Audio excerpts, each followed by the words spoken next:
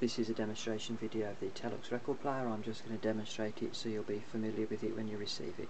First thing to do is screw down the two transit screws on the deck here and here.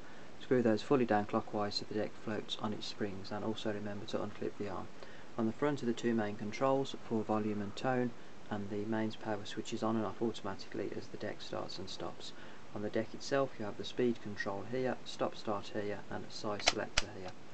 Can load between 1 and 6 records, I'll demonstrate with 2 just so you, can see it play. Pop the records onto the spindle edge and put the stacker arm across and select auto to start the auto changer.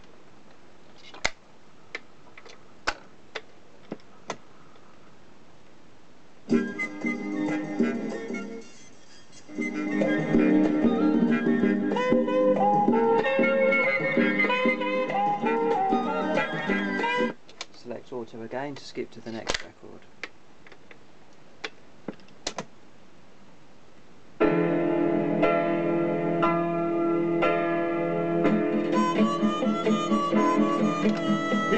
So we'll just demonstrate with the start of a 12 inch record as well.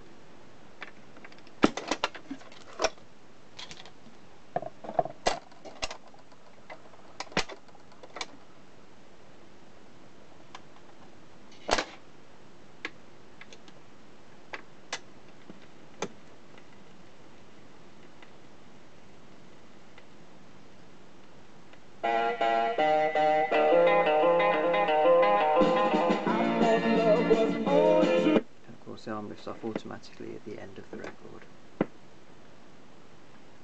If you don't use the auto changer and just want to play one record manually, you can just place an individual record down the spindle onto the platter.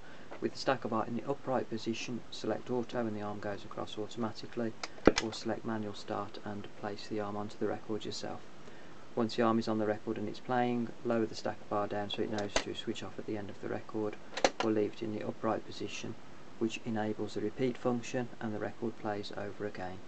So hopefully that covers everything, but if you do have any questions when you receive it, I'll include my email address in with the machine, and please use that method to contact me.